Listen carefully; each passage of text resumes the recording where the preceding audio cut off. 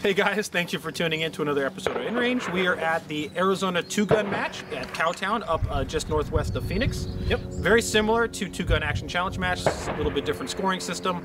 First Saturday of every month. Yep. At least that's their goal for now. We can put more in the links below. But this is another venue for us to do some interesting testing of guns. They tend to have a little bit more diverse environment in terms of range. especially longer ranges. Yeah. This, this range is fantastic. So what we have is, yeah, we've done this before. We shot the SP1 versus your GAU 5 Troy replica before. Yep. But what we didn't do was something unique. You have that. Yeah, so last time I had a single point on here, which included I gun sight, predecessor to the red dot, basically. This time, instead, we're going with kind of what was the standard. Well, in some ways, this is like the the high speed tactical version of the AR-15 from about 1970. It's Yeah, I would say best of breed, right? From Yeah. that period of time. I'm sorry, Exactly. I cut you off. Yeah, I've got collapsing stock, I've got the short barrel, and I have a Colt 4 power 4x20 scope on here, which is pretty horrible, actually. I don't know that it's helpful or not. We're going to find out today. Yeah, so it's kind of like looking through a drinking straw.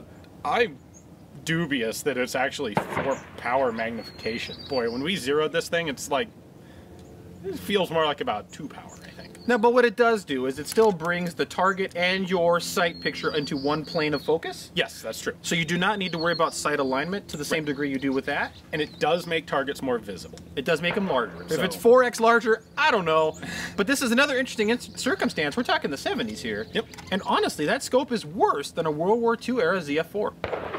I don't get that. But we've seen a recurring theme of that where post World War II, some of these scopes, uh, Mm-hmm. I think the ZF4 was just a particularly good. maybe set. that's the way Yeah. to go. But what we got here is you've got best of breed, Yep. high speed, low drag AR 15 carbine. I should also point out I can use the irons under the oh, scope, which I will be doing probably most of the time. for some of it. We'll, we'll discuss that through the stages. But Yep. the goal here is high speed, low drag, top at the end, the best of breed equipment at the end of the Vietnam War. Yep. With a magnified optic. Yep. Magnified. And bone stock M16 variant AR-15, no forward assist, no blast deflector, triangular handguards, uh, stock issue gun. Yep. Now we're both going to be using 30 round mags. This is not a mag capacity challenge, right. but what this is is just a debate and a discussion about how much better was this Yep. to this to the guy in let's say 1972. And on top of that, how do these things hold up today compared to what we've got today? Oh yeah, good point. So we're going to be shooting these old school ARs in a modern match. Yep. Does it matter?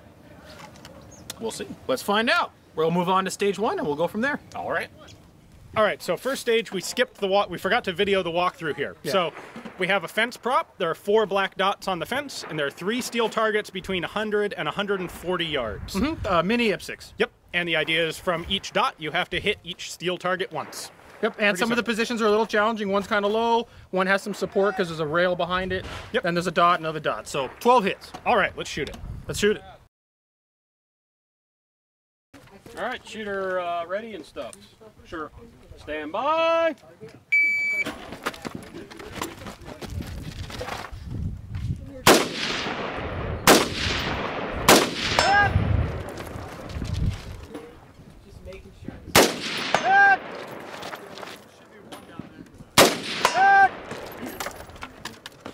Here? Yep.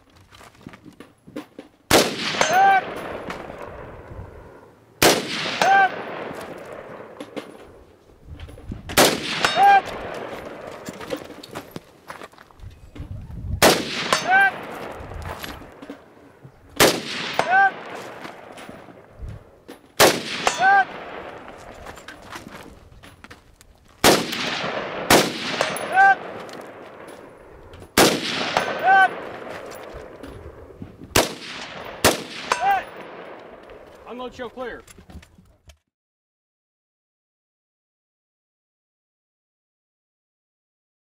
Shooter ready. Stand by. You know you're in the right position. Five.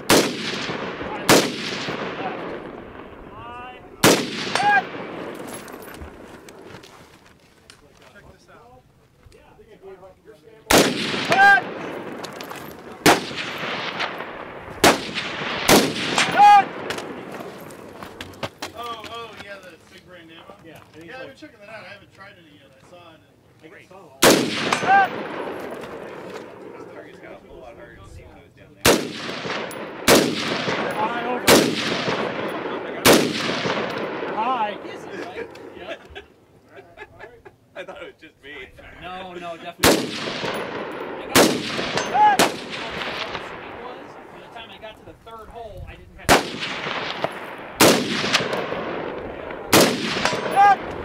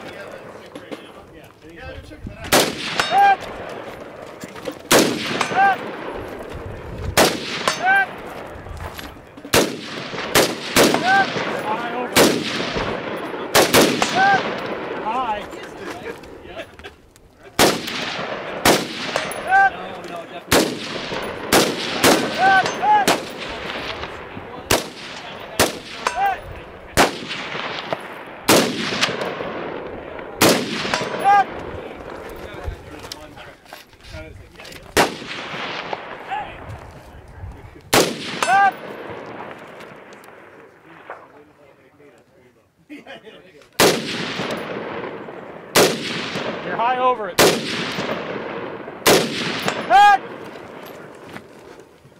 they do. Yeah, it's actually. Brad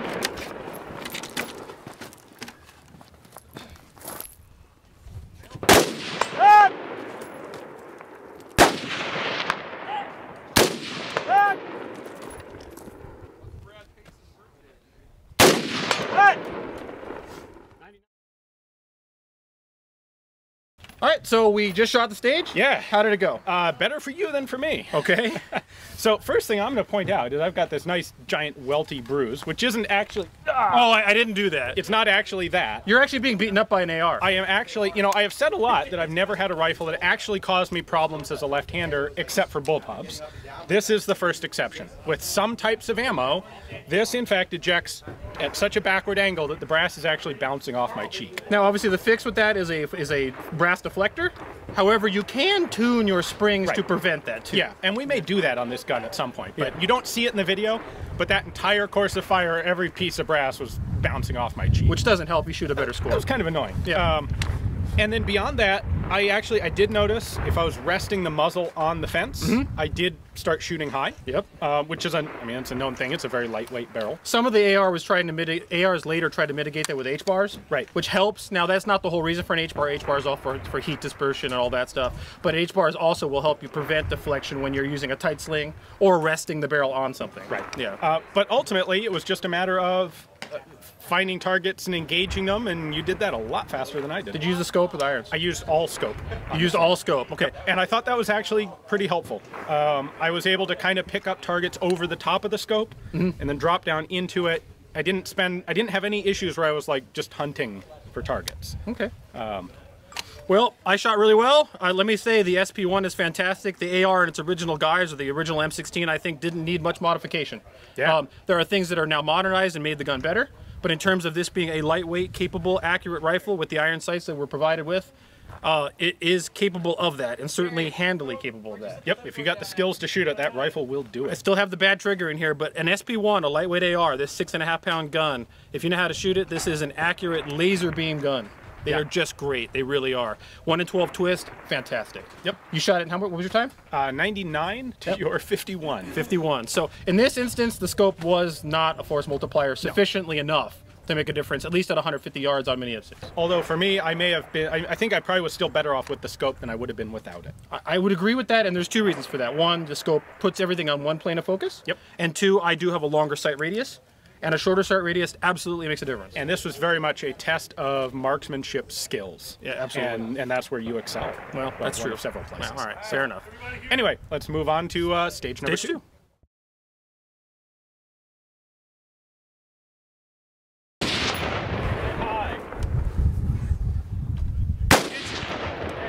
I just fell. That's all. I just fell. I just fell. All right. Good. Keep going.